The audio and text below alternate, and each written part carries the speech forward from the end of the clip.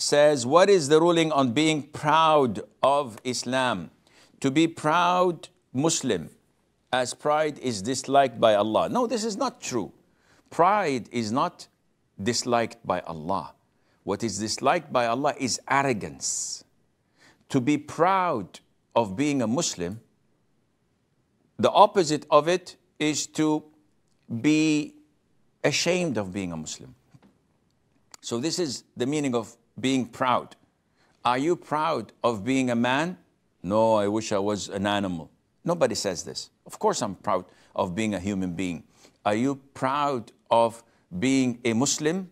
Of course, I'm proud of being a Muslim. But does my pride force me or push me to do haram things, such as looking down at people, uh, discriminating them, uh, humiliating them?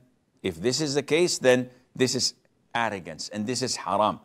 And this is why when the Prophet said, والسلام, that on the day of judgment, any person who has the ant weight of arrogance in his heart, he won't be admitted to Jannah. One of the companions said, We like to have clean clothes, beautiful clothes, beautiful shoes.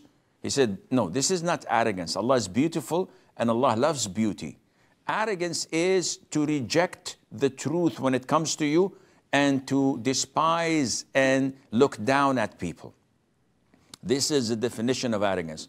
Being proud is a must in Islam. You have to be proud of being a, a Muslim. But our uh, uh, Islam is pride without arrogance, is strength without violence, it is peace without weakness, and so on. And Allah Azza wa Jal knows best, I think.